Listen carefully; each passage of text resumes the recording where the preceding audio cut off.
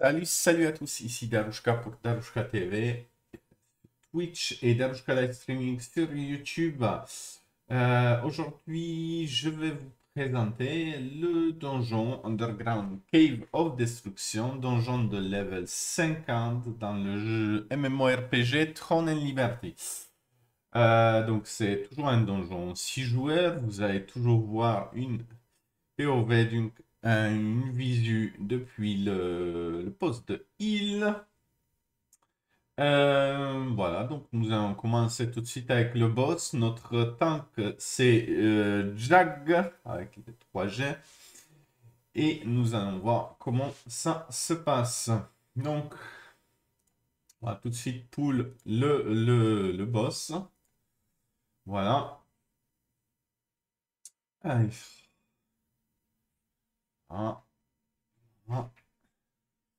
Là, il fait ce pattern-là bloqué par le tank. Celui-là aussi.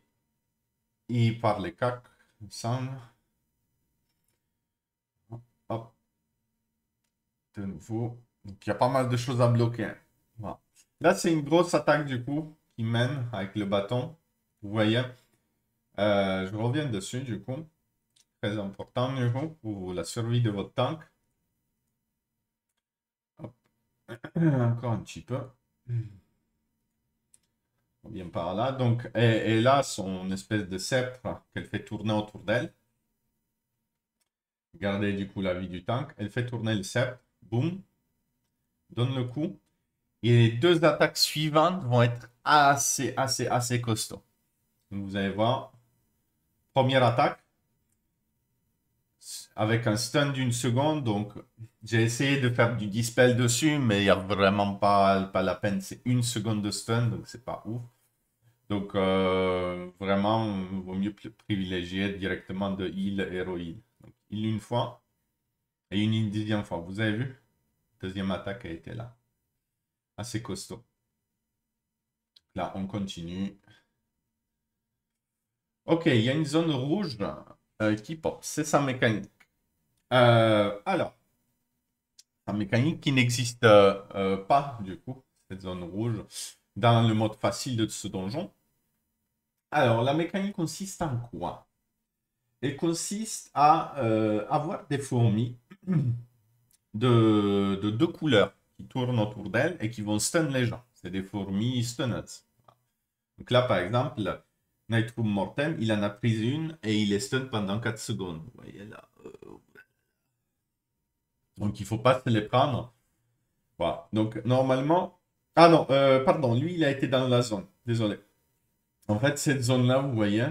Voilà, j'ai pas vu. Bah, les fourmis, elles stun aussi. Donc elles ont un truc comme ça où elles stun. Et lui, il a été dans la zone, malheureusement, qui est apparu là.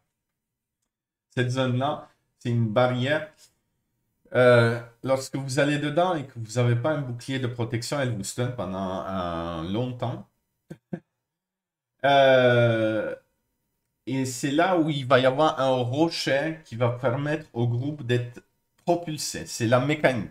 Alors, il y a certaines personnes qui pourront faire la mécanique. Et je vous expliquerai, en fait, on peut faire la mécanique et on ne peut pas la faire. Pour skipper, pour faire un peu plus de dégâts.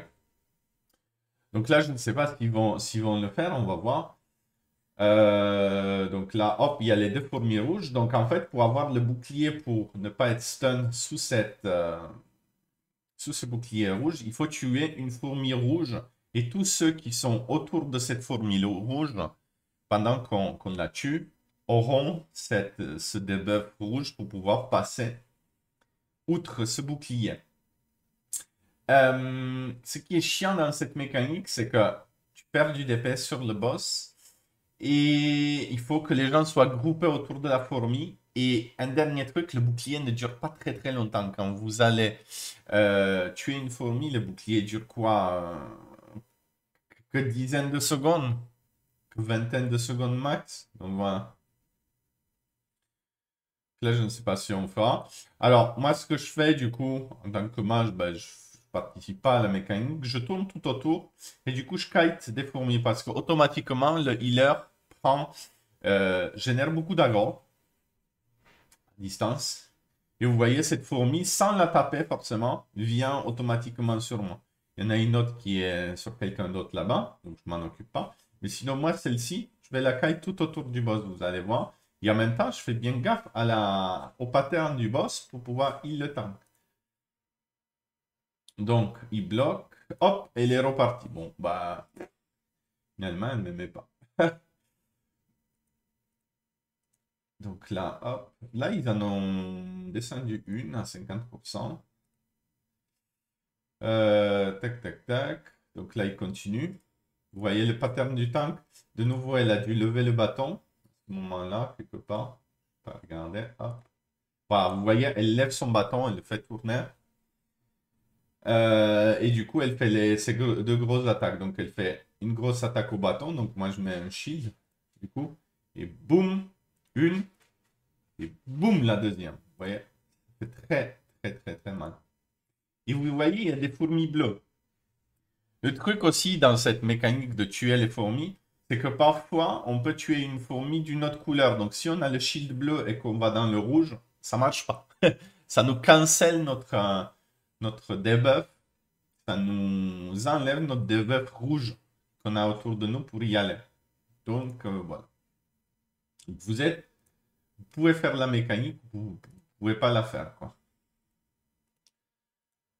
Euh, donc là, on continue. C'est bizarre, il y a une tombe qui reste d'un trail précédent, je pense. C'est vraiment rigolo. Euh, voilà. Donc là, je ne sais pas s'ils font la fourmi là-bas. L'impression. On va bien voir. Je vois pas de buff au-dessus d'eux. Là, le tank va esquiver cette attaque-là. Boum, la grosse attaque. Boum, la deuxième. Boum, la troisième. Voilà. Et là, elle va phaser. Elle va tout à coup, quand elle phase, elle fait des cris. Vous voyez là Ligurus, elle fait des cris. La reine euh, Là, ici. elle crie, elle va gueuler. du coup, vous voyez, sur la map, il y a trois plateformes. Là, sur la map, une, deux et trois plateformes. Pour chaque plateforme, il y a un œuf. Dans l'un des œufs, il y a une fourmi qu'il faudra tuer parce qu'elle, elle va monter dans les airs elle va nous envoyer tout le temps du poison, du poison, du poison, des stacks. Des stacks, des stacks. Donc, ce n'est pas, à peine de les debuff en heal. Il y, il en aura tout le temps, tout le temps, tout le temps. Donc, qu'il faut faire, euh, si vous faites la mécanique et que vous avez la, le shield rouge autour de vous, vous pouvez aller à la place là où il y avait la zone rouge pour monter sur un rocher qui vous envoie en l'air et vous pouvez planer jusqu'à la plateforme où il y, aura une fourmi. L'une des trois, c'est aléatoire. Euh, parce que les œufs vont exploser sur ces plateformes-là. Donc ça, c'est la mécanique. Parce que sur le sol, vous allez voir, à un moment donné, elle va faire une dead zone. Donc, euh, elle va euh, faire une énorme zone qui va tuer tout le monde. On va le voir de toute façon. Je vais vous montrer, je vais faire un arrêt sur l'image. Donc là, il y aura un rocher qui va sortir. Donc, personne n'a eu le shield. Personne n'a eu le debuff pour aller là-dedans. Donc, en fait, chacun court sur les plateformes. Vous allez voir, Là, c'est les plateformes. Et on se met en mi-hauteur, ici. Ici, à peu près. Vous voyez? Cette plateforme. Eux, ils vont sur l'autre. Moi, je vais là. Pas d'indication, forcément. Tac, tac, tac. On attend. Boum. Les deux viennent d'exploser. Vous voyez, ici, ici. Et euh, je pense que la fourmi va être là-bas. Euh, là, ça vient d'exploser. On remonte on remonte très vite. Hein. Il ne faut pas rester là tout le temps. Faut, dès que les œufs ont explosé, il faut remonter. Et elle, elle va faire une zone. Et vous voyez, le rocher, il est là. C'est le rocher qui envoie les gens en l'air. Vous voyez, en même temps qu'elle va faire sa zone ici, elle va envoyer ici en l'air avec le rocher. Boum. Donc voilà, elle pète le rocher. Là, c'est la dead zone. Ce rocher-là, vu qu'il est pété, il envoie les gens en l'air. Les gens peuvent planer si la mécanique est faite. Et sinon, ben, vous faites comme, comme nous là.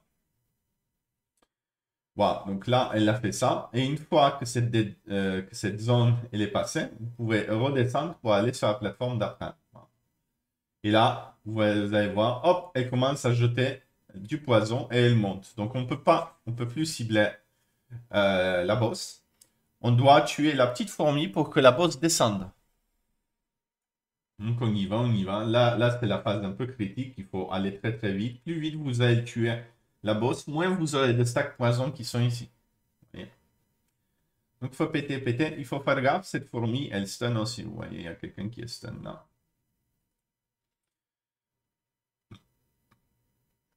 Voilà, tout le monde est... Donc là, il faut descendre de la plateforme. Sautez pas directement, vous n'avez pas des points de vie, donc essayez de quand même de voler, de perdre le moins de dégâts. Et le tank doit aller très très vite sous le boss, même si le boss va pousser le tank.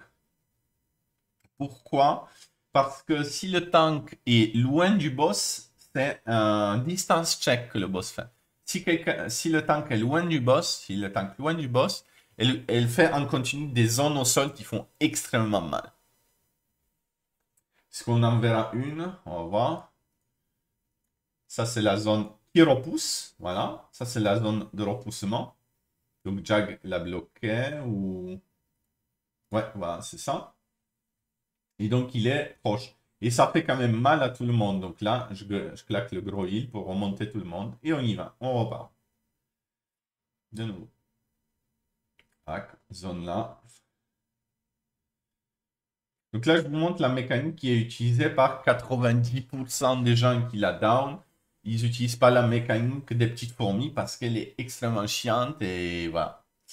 Euh, le truc, c'est que le, le, le, le buff pour passer outre le bouclier dure pas très très longtemps. Donc, euh, il faut timer pour tuer la fourmi de la bonne couleur au bon moment.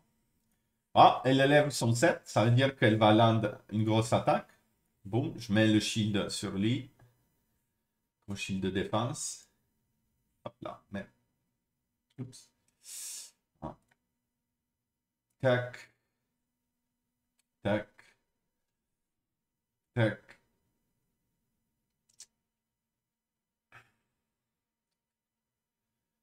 Donc là, hop, vous le voyez. Le sceptre, on le voit très bien. Hein. C'est une grosse attaque. Boum. Deux. Et une troisième. Boum. C'est des... C'est pas une sceptre, c'est une faux qu'elle a, je crois. Ils aiment bien les faux. Des Fabi, c'était une faux. Elle aussi, elle a une faux. bah, les fourmis. Donc, vous voyez, cette fois-ci, on a deux couleurs de fourmis. Une bleue euh, une bleue et une rouge. Et donc, il doit y avoir quelque part la zone euh, qui apparaît. Elle est là. Vous voyez la zone rouge de la mécanique du caillou. Donc, normalement, il faudrait garder une fourmi rouge et la tuer. Est-ce qu'ils vont le faire Non. Vous voyez, hein, ils ont compris qu'on n'allait pas faire la mécanique. J'avais voulu vous montrer une, euh, vidéo d'une euh, d'une méca, mais bon, c'est pas En fait, quand, quand vous avez, du coup, quand le groupe a le shield, euh, parce que les, petites fourmis disparaissent à un moment donné. L'alliette, il est, il est paralysé, il bouge pas avec ses fourmis, donc c'est dommage. il est un peu dans la cité, quoi. Euh, voilà. Euh, c'est juste d'aller dans la zone au bon moment, quoi. C'est quand il crie, au lieu d'aller sur la plateforme, euh, vous allez dans la, dans la zone euh, ici. Donc là, elle lève son sceptre, grosse attaque, bam, une, bam, deux, bam, trois. la troisième, c'est la pia. donc on continue de DPS et vous voyez, hop, là, elle crie, du coup, elle fait... Donc là, les gens courent, les fourmis, les petites fourmis ont disparu si on avait les debuffs rouges, on irait là-dedans parce qu'on serait protégé pour ne pas être stun à l'intérieur de... Parce que si vous allez là sans avoir le debuff de la bonne couleur, vous allez être stun et vous n'allez pas monter sur le rocher. Hein. Vous allez... Le rocher, il est au milieu, alors que là, il y a une barrière tout autour. Vous ne pouvez pas passer. Donc, vous êtes dead. Et si le debuff se termine aussi, vous n'avez pas monté sur le rocher, vous êtes stun au sol et elle va vous, vous tuer en faisant une grosse AOE, une énorme AOE. Là, on continue, on continue, on continue. Donc, on monte sur... Euh, pas tous sur la même, il y en a un qui est là-bas. Mid-plateforme. Les eaux ont explosé. Et tout de suite, on monte. Hein. Il ne faut pas perdre du temps. Il ne faut pas, vraiment pas perdre du temps. Hop. Il a perdu du temps. Lui, il est mort. Vous voyez pourquoi il est mort, euh, Liette? Il n'est pas monté. Tout de suite. Tout de suite, il faut y aller. Et vous voyez, même lui, il n'est pas mort, mais il est mis de plateforme. Il est déjà considéré plus haut que, que Liet. Liet, il a dû rester encore mis de plateforme ici, au milieu. Donc là, on va le finir à 5. Bon, ça va. La dernière phase. Vous voyez, on change de plateforme. La fourmi n'était pas là, malheureusement. Dommage. on était tous là même. Quasi. Et là, on dépaisse la, la fourmi. Et on boit. on boit. Claque gros taf de healing du coup. Ouais, hop, hop, hop. Malgré tout. Je garde mon gros heal pour la descente quand même. ouais, c'est mieux. Comme ça, si un gars tombe ou quelque chose, bon. Préfère ne pas heal en haut parce que parfois le heal ne prend pas ce sont, les personnes qui sont en l'air, donc je préfère. Ok, ça c'est une phase en plus du coup. Vous voyez, il met des petites larvousses euh, sur, chaque, sur chaque personne. Donc, chaque personne va être projetée en l'air. Ici. Tac, tac, tac, tac. Il y a des larves qui sont allumées, il y a des larves qui sont éteintes. Ceux qui ont des larves allumées doivent aller sur ceux qui ont des larves éteintes. Donc, moi, j'y vais dessus, tu vois. Euh, hop, ouais, hop. Et on se les partage. Hop, et il partage, euh, bon, le tank l'a pas eu. Mais normalement, on se groupe sur ceux qui ont les, les larves allumées. Comme il y en avait deux, Normalement, il y en a trois. Donc, le, tank n'aura pas sa larve euh, allumée.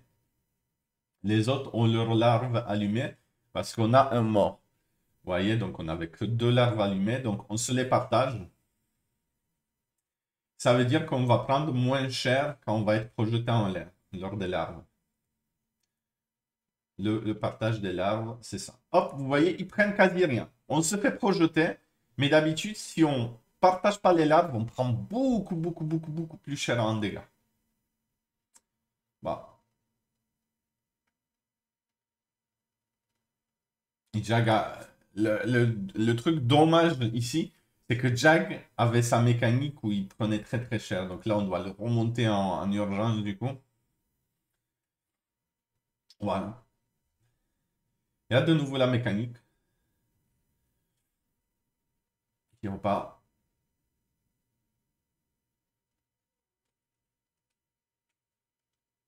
C'est bizarre ces bestioles là dans les. Je ne sais pas à quoi elles correspondent. Hein. Je suis en train de regarder, mais.